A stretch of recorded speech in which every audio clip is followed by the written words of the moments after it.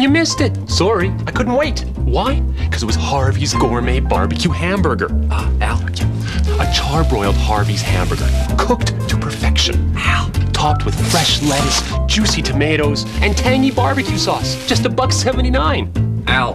What? You've got some sauce on your face. I know. Harvey's Gourmet Barbecue Hamburger. For a short time, just a dollar seventy-nine. Crumbs.